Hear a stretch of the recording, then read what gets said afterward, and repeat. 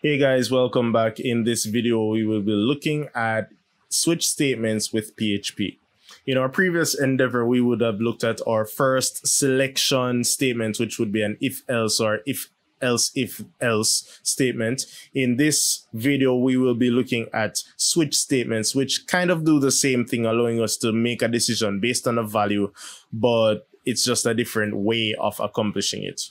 Now on screen, I have my index page, which has been our landing page for this PHP primer website. And the next page that we will create is one so we can have our switch statement examples on. So I'm just going to go ahead using Visual Studio Code, create a new file in the same folder, and I'm going to call it switch statement.php. Next up, we want to generate our HTML5 template. So we do that by just typing in HTML colon 5 in Visual Studio Code, and then we get our template. I will change this to switch statements for the page title. And before that, I would put PHP primer and a hyphen. Now, it's always a good idea to let your users know what page they're on. So I'm just going to add an H1 tag to the top of this page to say which page it is that you've landed on. And I'll just say switch statements. And I'll just copy this code and use it also in the if statement page because we didn't do that. And I will just paste that there and say if statements, if or else statements. All right. Now that we've gotten those semantics and aesthetics out of the way, let's get down into our PHP. So we invoke our PHP tags and once again, always open and close at the same time. And then we start getting our hands messy. So I'm going to kind of retain the example from the if statement uh, video and we will just declare a variable called grade and we will give it some letter grade value and we'll say A. All right. Now a switch statement pretty much has the word switch and then we will put the variable that is under scrutiny. So what happens is that we say switch and then we pass in some variable which implicitly has a value. As we see out here we just declared grade and gave it a value of a. And then we will define cases and then make a decision based on the case. So that's the big picture. Let's get into it. So we say switch variable name which is grade all right and then we open up our curly braces and then we say case and then the case would pretty much be saying, is the value equal to this or not? So the case that I want is that when it is A, I want to make, uh, take a certain action. So I say case, then value that I want to compare the variable here in the switch statement to. Then I say colon, and then in the next line, I write as much code as I need to, to get the task done. Um, in this situation, we just want to echo a statement. So if the case is A, if the grade is A, then I'm going to echo you are a superstar. So we're going to use but the same statements from the if video. We'll just say you are a superstar and we're putting that inside of H2 tags. All right.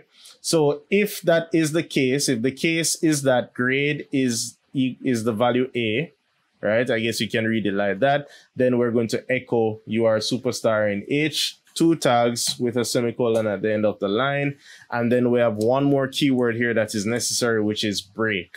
So if we have multiple cases, which we're about to have, if we don't have the break keyword, then it will actually run through that case and every other case until it hits a break. So you always want to include your break after you finish defining your actions, just put a break.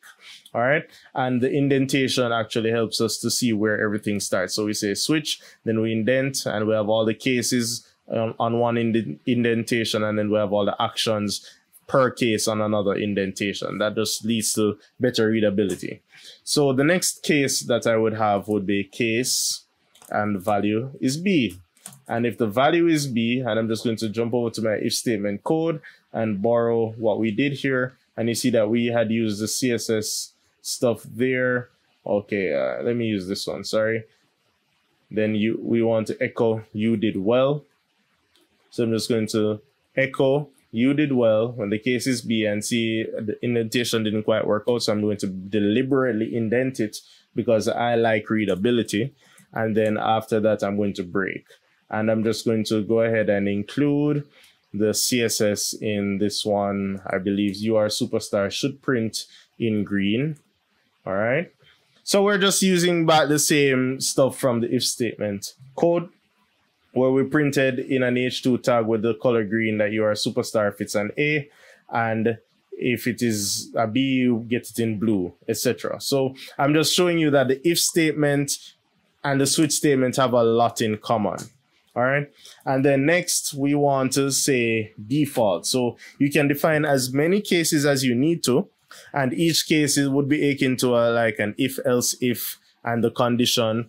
But then if you run out of all the conditions and you're looking for a value that might be an outlier, then you would say default. So default would be the switch statements equivalent to the else in an if statement. All right. So we say default and then the default would print you have failed. So I'm just going to borrow this and I'm just going to paste it down here. Make sure I indent it and I'm going to print that in red.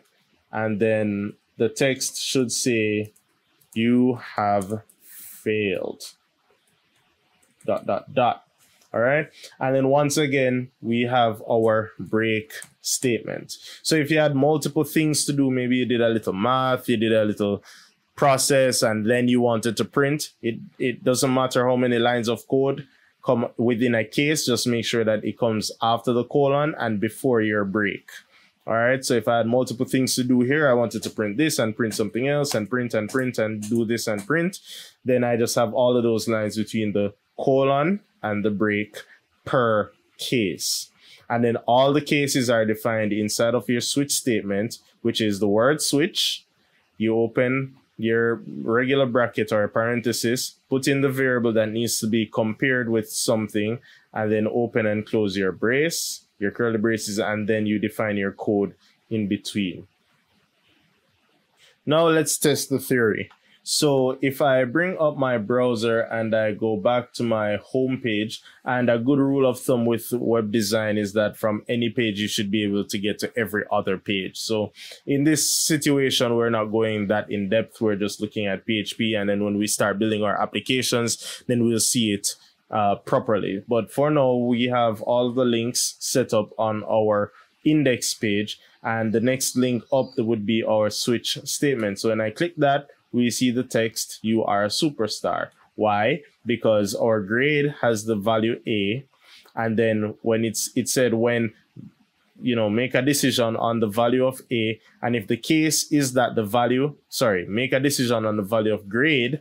And then if the case is that the value is A, then take that action. So if I change this to B, then the expected result, uh, sorry about that, expected result is that we should get you did well in blue. And if I change it to C, we get red text citing your failure. All right. And I left out a space. Let me just add that there. And then if it's any other value, meaning if I put F or G, then, well, you have failed at the end of the day because default is the catch-all. Well, as long as these cases are not met, meaning the case is not that the value is A, the case is not that the value is B, then default is our catch-all that will just take certain actions accordingly. That's it for switch statements. They're relatively simple, and as you go along, you'll see the relevant needs for them.